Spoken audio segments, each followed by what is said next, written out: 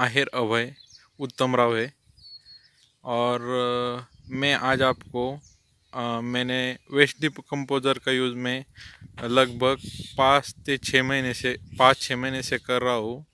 और मुझे उसका बहुत ज़्यादा यूज़ किया है मैंने और उसका रिज़ल्ट भी मेरे को अच्छा मिला है। मैं आज लोगों को एक नई चीज़ बताना चाहता हूँ मैंने चार टाकी में आप सो, आप सामने देख सकते हो। एक हज़ार की एक है और दो पाँच सौ लीटर के, पाँच सौ लीटर के तीन है और एक डेढ़ हज़ार का काला ड्रम है। इसमें मैंने वेस्ट डिकम्पोज़र तैयार किया है। जो काला ड्रम है उसमें मैं माइक्रोन्यूट्रन तैयार करता हूँ और जो नीले ड्रम है उसमें मैं वेस्ट डिकम्पोज़र तैयार करता हूँ।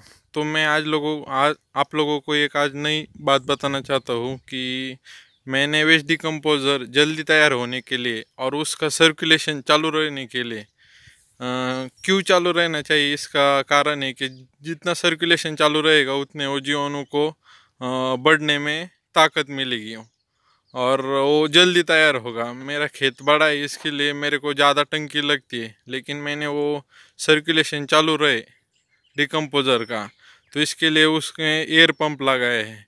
एयर पंप मैंने अहमदनगर हमारा डिस्ट्रिक्ट है, वहाँ से ख़रीदा है। हम जो फ़िश टैंक में जो एयर पंप देखते हैं होटल में इधर उधर जाते हुए जाते हैं, तब देखते हैं। उसमें बुलबुले निकलते रहे, पानी में फ़िश को जो ऑक्सीजन चाहिए, उसके लिए वो एयर पंप लगाया रहता है। तो मैंने भी वो एयर पंप ख़रीद के हमारे डिकम्पोज़र में लगाया है। तो मैं आप लोगों को डिकम्पोज़र में कैसा लगाया है, वो आप लोगों को दिखाना चाहता हूँ। ये मेरा सेंट्रलाइजेशन क्या है मैंने। पूरे खेत को इधर से डिकम्पोज़र वगैरह जाता है और ये सेंट्रलाइजेशन है ड्रिप का। और ड्रिप के साथ ही मैं पूरा वे खेत को इधर से डिकम्पोज़र वगैरह जाता है और ये सेंट्रलाइजेशन है ड्रिप का। और ड्रिप के साथ ही मैं पूरा वेस्ट डिकम्पोज़र छोड़ता हूँ। तो चलो मैं आप लोगों को वो दिखाता हूँ। मैं, चलो मैं आपको अभी डिकम्पोज़र में जो एयर पंप लगाया है वो दिखाता हूँ। पहले मैं दो सौ लीटर में माइक्रोन्यूट्रन तैयार करता हूँ, जिसमें तीन प्रकार की तेल वर्गीय दाल है। दाल है और तीन वर, तीन प्रकार की तेल वर्गीय बीज है और उसमें तांबा और लोहे के कुछ टुकड़े डाले हैं और जस्ट भी थोड़ा डाला है। इसमें मैं डिकम्पोज़र तैयार करता हूँ।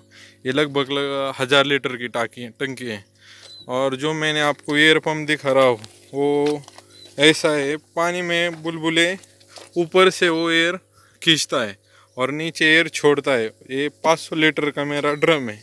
इसमें आप देख सकते हैं ऐसे बुलबुले उधर से एयर पकड़ के वो डिकम्पोज़र में छोड़ता रहता है।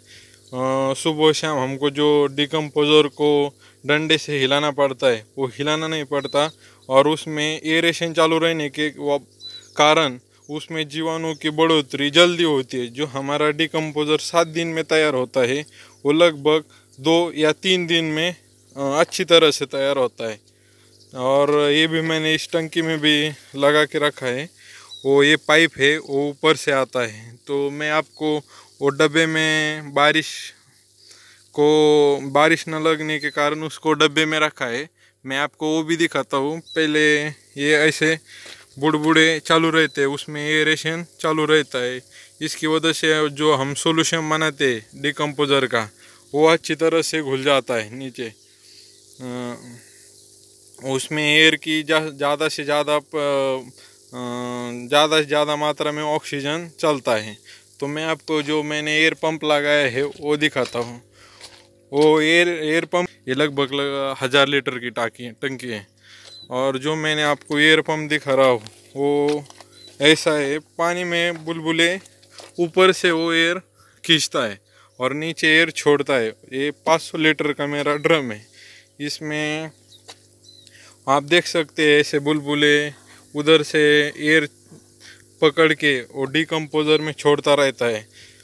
सुबह शाम हमको जो डिकम्पोज़र को डंडे से हिलाना पड़ता है, वो हिलाना नहीं पड़ता और उसमें एयरेशन चालू रहने के कारण उसमें जीवाणु की बढ़ोतरी जल्दी होती है, जो हमारा डिकम्पोज़र सात दिन में तैयार होता है, वो लगभग दो या तीन दिन में अच्छी तरह से तैयार होता है। और ये भी मैंने इस टंकी में भी लगा के रखा है। वो ये पाइप है, वो ऊपर से आता है। तो मैं आपको, वो डब्बे में बारिश को, बारिश न लगने के कारण उसको डब्बे में रखा है। मैं आपको वो भी दिखाता हूँ। पहले ये ऐसे बुड़बुड़े चालू रहते हैं, उसमें एरेशन चालू रहता है। इसकी वजह से जो हम सोल्यूशन बनाते डिकम्पोज़र का, वो अच्छी तरह से घुल जाता है नीचे। उसमें एयर की ज़्यादा से ज़्यादा ज़्यादा से ज़्यादा मात्रा में ऑक्सीजन चलता है।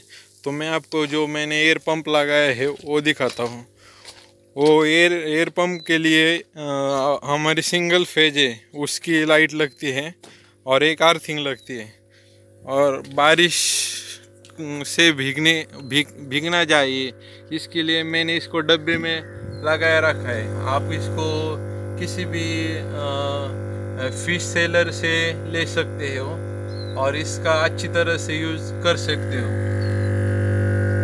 इसमें मैंने अभी आपको एयर पंप दिखाया है, वो हमारा जो तेल का डब्बा है उसमें मैंने फिट किया है और इसका मैं अच्छी तरह से यूज़ कर सक, कर रहा हूँ। धन्यवाद थैंक यू जय हिंद, जय महाराष्ट्र।